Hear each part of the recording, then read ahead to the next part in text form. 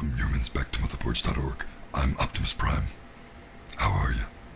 Nah, just messing with you folks. Welcome back to the motherboards.org YouTube channel. I'm Elric, your host. Today we're going to be taking a look at something kind of cool. It's a mouse pad with a little wrist pad. It's by Razer. It's called the Vespula. It's a little product I'll be taking a look at today. I'm not going to really do so much of an unboxing because there's nothing in the box but the mouse pad itself. But today I'm just going to show you how it works. I'm going to use it and I'm actually going to use the mouse they, they give along with it. They have the silver mouse, the Transformers 3500 DPI mouse. You'll see how I play Call of Duty Black Ops using this mouse and this mouse pad. It's actually a pretty cool product. Let's just move along and jump right into it.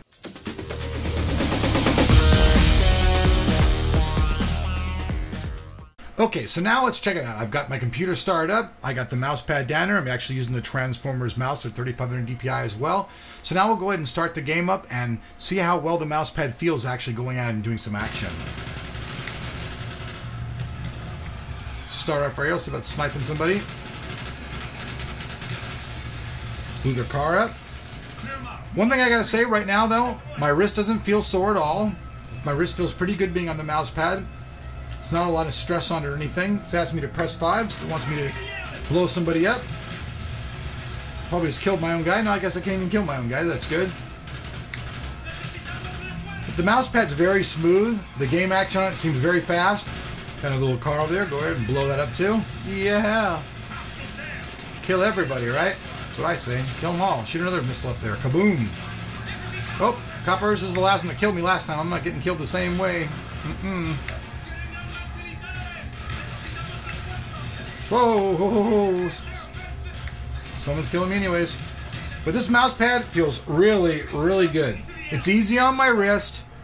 Response is really, really good. It's smooth. The mouse moves around very well on it. I have to say overall, this is a really nice mouse pad. It's small. I know some people might think it's cheesy and kiddie because it has a Transformer stuff on it, but actually it feels really well. And I don't think that playing on it, are you going to feel a bunch of fatigue on your wrist like you would with the normal one that doesn't have a little pad on it. This little pad right here actually does quite a bit for you to keep you feeling good.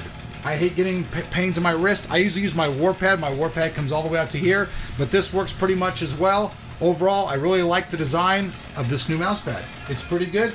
I think that the the Vespula is actually a pretty good product. It's not too bad. I mean, there's not a lot you can really say about a mouse pad. I mean, it's a mouse pad, but this one is it's pretty good. I can't say it's as great as my Warpad. I like my Warpad one; it's a little bit different. But for those fans of the people who like Transformers, the Transformer mouse and mouse pad go really well together. I'd say it's a really cool product overall. Thanks for watching, and we'll see you guys back here on motherboards.org. Time for me to go out and kill me some mothers.